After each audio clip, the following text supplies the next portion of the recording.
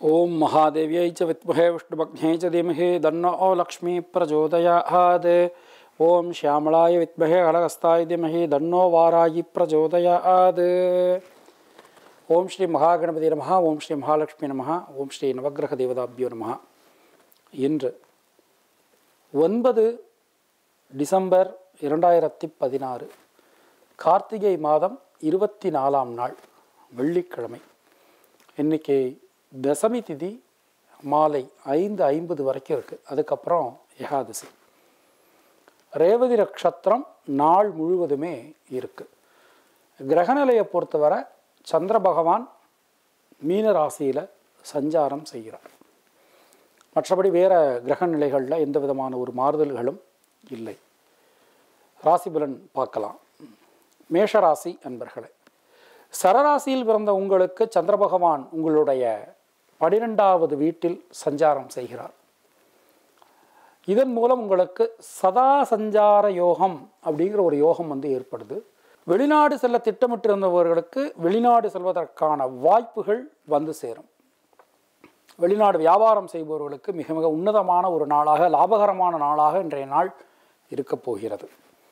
இன்று உங்களுடைய அனுகூலமான ஹோரைகள் செவ்வாய் சுக்கரன். ரிஷபராசி அன்பர்களே இன்று உங்களுடைய தொழில் ஸ்தானத்தில் விரையாதிபதி செவ்வாயும் கேதுவும் அமர்ந்திருக்கிறார்கள். உங்களுடைய ராசியை குரு தனது ஒன்பதாம் பார்வையால் பார்க்கிறார். தொழில் சார்ந்த விஷயங்களில் இருந்து வந்த சுணக்க நிலை அடியோடு மாறும். தொழில் சார்ந்த விஷயங்களை நீங்கள் எடுக்கக்கூடிய முயற்சிகள் அனைத்தும் வெற்றி பெறும். நீண்ட நாட்களாக தொழிலை விரிவாக்கம் செய்வதற்கான வேலையில் ஈடுபட்டு கொண்டிருந்தவர்களுக்கு இன்றைய நாள் அனுகூலமான ஒரு நாளாக இருக்கும். இன்று உங்களுடைய அதிர்ஷ்டமான ஹோரைகள் குரு சுக்ரன். மிதுன ராசி அன்பர்களே இன்று உங்களுடைய ராசிநாதன் புதன் தனது ஏழாம் பார்வையால் உங்களுடைய ராசியை பார்க்கிறார். தனாதிபதி சந்திர பகவான் உங்களுடைய ராசிநாதன் சாரம் பெற்று தொழில் ஸ்தானத்தில் இருக்கிறார். தொழில் ஸ்தானத்தை குரு குரு தனது ஏழாம் பார்வையால் அருட்பார்வையால் பார்க்கிறார்.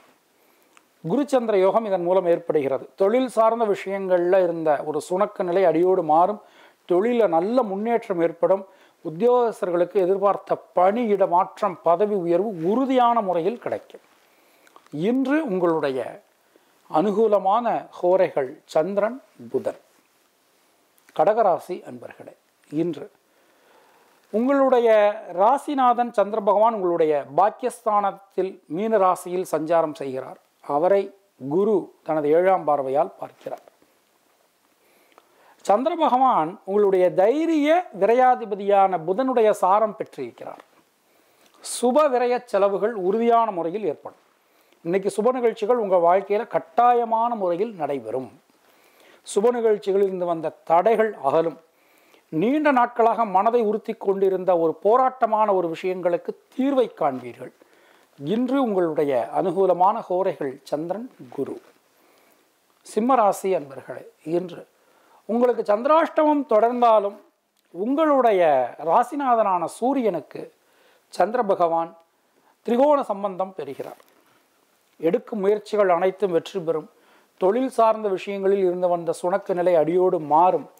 வாக்கு வன்மை அதாவது உங்களுடைய வாக்கு சாதுரத்தின் மூலம் பல காரியங்களை சாதித்துக் கொள்வதற்கான சூழலை ஏற்படுத்திக் கொள்வீர்கள். ஒரு சூழல் நல்ல சூழல் நீங்களே உருவாக்கிடுவீங்க ஆனாலும் கொஞ்சம் பிடிவாத குணம் கொஞ்சம் கோபத்தை தளர்த்தி கொண்டு உங்களுடைய வேலையை நீங்கள் எதிர்நோக்கினால் காரியம் வெற்றி. இன்று உங்களுடைய அதிர்ஷ்டமான ஹோரைகள் சூரியன் சந்திரன் கன்னிராசி என்பர்களே இன்று உங்களுடைய ராசியை லாபாதிபதியான சந்திர பகவான் தனது ஏழாம் பார்வையால் பார்க்கிறார். சுணங்கி கிடந்த காரியங்கள் அனைத்தும் வேகம் பெறும். ஒரு நல்ல ஒரு அருமையான நாளாக இன்றைய நாள் உங்களுக்கு இருக்க போகிறது. உங்களுடைய ராசிநாதனான புதன் உங்களுடைய தொழிற்சானத்தை தனது ஏழாம் பார்வையால் பார்க்கிறார். தொழிலில் இருந்து வந்த இடையூறுகள் அனைத்தும் விலகும். பங்குதாரர்கள் வந்த பிரச்சனைகள் மாறும். பொருளாதாரத்தில் நல்ல ஏற்றம் காண்பீர்கள். இன்று உங்களுடைய அதிர்ஷ்டமான ஹோரைகள் புதன் குரு துளாராசி அன்பர்களே இன்று. ஆரோக்கியம் சம்பந்தமான சில பிரச்சனைகள் நீங்களாகவே முடிவெடுப்பதை தவிர்ப்பது நல்லது. எந்த ஒரு விஷயமானாலும் தகுந்த ஆலோசகரிடம் சென்று ஆலோசனை செய்து கொள்ளவும். பணம் சார்ந்த விஷயங்களில் கவனம் தேவை. சொத்து வீடு மனை ஆகியவற்றை அடகு வைக்கும்போது உங்களுடைய டாக்குமெண்ட்ஸை சரியான முறையில் படித்து பார்த்துக்கோங்க. யாருக்கு கடன் கொடுப்பதாக இருந்தாலும் யோசித்து கொடுப்பது நன்மை தரும். இன்று உங்களுடைய அதிர்ஷ்டமான ஹோரைகள் சந்திரன் சுக்ரன் விருச்சிகராசி அன்பர்களே இன்று உங்களுடைய பாக்கியாதிபதியான சந்திர பகவான் ஐந்தாம் இடத்தில் இருக்கிறார். உங்களுடைய ராசிநாதன் செவ்வாய் நான்காம் இடத்தில் சுகஸ்தானத்தில் கேதுவுடன் சஞ்சாரம் செய்கிறார். அவர் வந்து தன்னுடைய பார்வையால் ஏழாம் இடம் ஒன்பதாம் ஏழாம் இடம் பத்தாம் இடம் பதினொன்றாம் இடம் ஆகியவற்றை உங்களுடைய ராசிநாதன் பார்க்கிறார். இந்த பதினொன்றாம் இடத்தை ராசிநாதனும் சந்திரனும் சேர்ந்து பார்க்கறதுனால பதினொன்றாம் இடத்துல ஏற்கனவே குருவும் இருக்கிறதுனால மிகுந்த லாபகரமான நாளாக இன்றைய நாள் உங்களுக்கு இருக்க போகிறது. எந்த ஒரு முயற்சி எடுத்தாலும் அதில் அனுகூலமான பலன்களை நீங்கள் பெறப்போகிறீர்கள் குடும்பத்தில் இருந்து வந்த பிரச்சனைகள் அனைத்தும் மாறும். தொழிலில் இருந்து வந்த பிரச்சனைகள் அனைத்தும் நீங்கும். இன்று உங்களுடைய அதிர்ஷ்டமான ஹோரைகள் சந்திரன் செவ்வாய். தனுசு ராசி அன்பர்களே இன்று தொழிலில் இருந்து வந்த தடைகள் அனைத்தும் நீங்கும். நீண்ட நாட்களாக போராடி கொண்டிருந்த ஒரு காரியத்திற்கு இன்று வெற்றி கிடைக்கும்.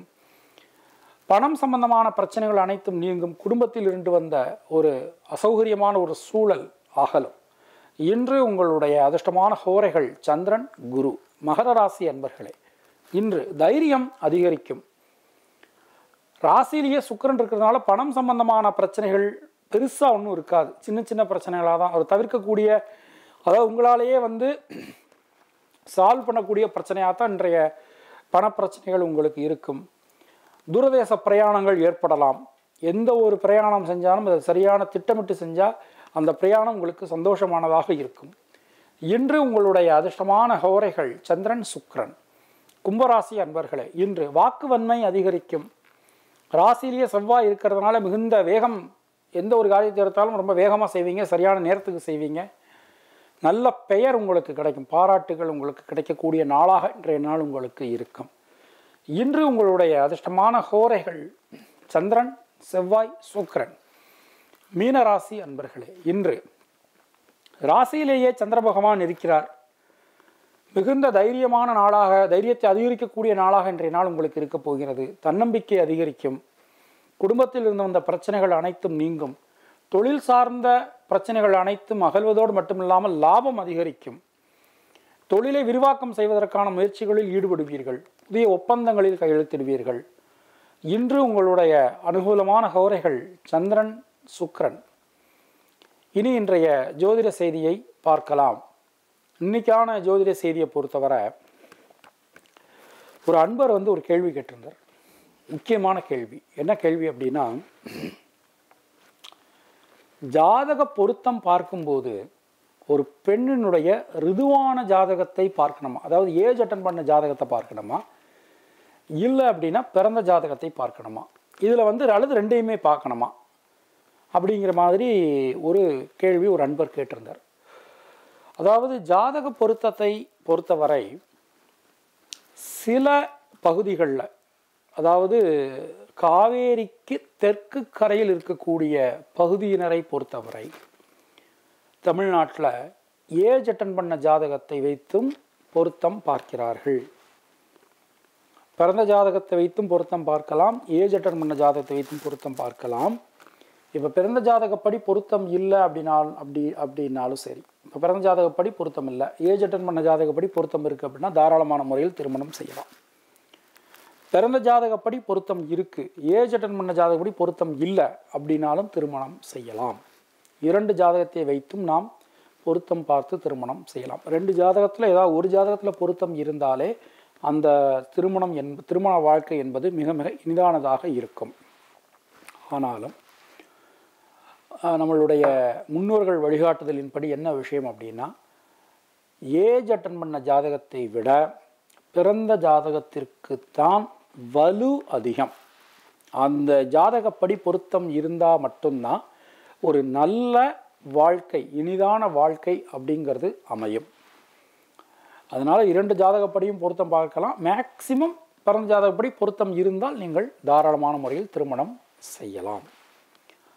அடுத்தது ஒரு பொருத்தம் பார்க்கும்போது நான் ஏற்கனவே சொன்ன மாதிரி ஆயுசு ஆரோக்கியம் ரெண்டு பேருக்கும் இருக்கக்கூடிய தசா திசை ரீதியிலான பொருத்தம் பாவசாமியம் இது எல்லாத்தையுமே நாம் கணக்கில் எடுத்துக்கணும். வெறும் நட்சத்திர பொருத்தத்தை மட்டும் வச்சு பார்த்துட்டு நாம் முடிவு செய்யக்கூடாது.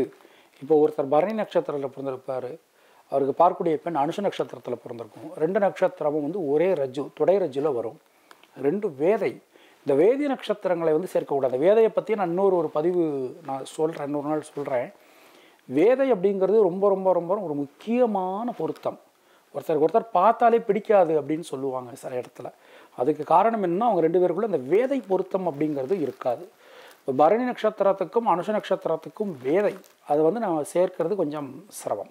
வெறுமன நட்சத்திர பொருத்தம் மட்டும் பார்க்காம ஆயுசு ஆரோக்கியம் சந்தான பாக்கியம் பொருளாதாரம் செவ்வாதோஷம் பாவசாமியம் தசா பொருத்தம் இது எல்லாத்தையும் பார்த்து தான் நாம் திருமண பொருத்தம் என்பது திருமணம் என்பது நாம் செய்ய வேண்டும். இன்னொரு விஷயம் தயவு செய்து ஒரு ஜோதிடர்கிட்ட மட்டும் நீங்கள் வந்து பொருத்தம் பார்க்காதீங்க. அருகில் இருக்கக்கூடிய இரண்டு மூன்று ஜோதிடர்கள் அவங்கள்ட்ட கலந்து ஆலோசனை பண்ணிட்டு அதன் பிறகு நீங்கள் முடிவெடுங்கள். கல்யாணம் என்பது ஆயிரங்காலத்து பயிர். அதில் மிக மிக கவனமாக நாம் முடிவெடுக்கணும். அடுத்த விஷயம் இன்னைக்கு கார்த்திகை ரேவதி நட்சத்திரம். ரேவதி நட்சத்திரக்காரர்களை பொறுத்தவரை அடுத்த அந்த கார்த்திகை மாதத்தில் பிறந்த ரேவதி நட்சத்திரக்காரர்களை பொறுத்தவரை அடுத்த ஒரு வருடத்துக்கு உங்களுக்கு மிக மிக ஒரு பொன்னான காலகட்டம். ஏழு வருடத்திற்கு பிறகு உங்களுக்கு நல்ல காலம் வந்திருக்கிறது. சுபகாரியங்கள் இருந்து வந்த தடைகள் நீங்கும். ரொம்ப ரொம்ப ரொம்ப ரொம்ப ஒரு அற்புதமான ஒரு பலன் உங்களுக்கு வந்து கிடச்சின்னு இருக்குன்னு சொல்லலாம். உங்களுக்கான பரிகாரம் என்னன்னு சொல்லி பார்த்தோம்னா உங்களுக்கு ஒன்பதாம் இடத்துல சனி கிரகம் இருக்கிறதுனால அருகில் இருக்கக்கூடிய சிவன் ஆலயத்திற்கு சனிக்கிழமை தோறும் சென்று எள்ளு விளக்கு ஏற்றுறது ரொம்ப ரொம்ப ஒரு நல்ல பரிகாரமாக இருக்கும். காக்கைக்கு அன்னம் படுறது முன்னோர்களை வணங்குவது முன்னோர்கள் ஃபோட்டோ முன்னாடி டெய்லி ஒரு டம்ளர் பாலும் ஒரு டம்ளர் தண்ணியும் வச்சு வணங்கிட்டு அந்த பாலை நீங்கள் சாப்பிட்டலாம் டெய்லி தண்ணீரை மாற்றிடலாம் இது ஒரு நல்ல பரிகாரமாக இருக்கும். நாளைக்கு நாம் நாளையினுடைய ராசி பலன் மற்றும் வேறு ஒரு வித்தியாசமான ஜோதிட செயல்முறை நான் சந்திக்கிறேன். நன்றி வணக்கம்.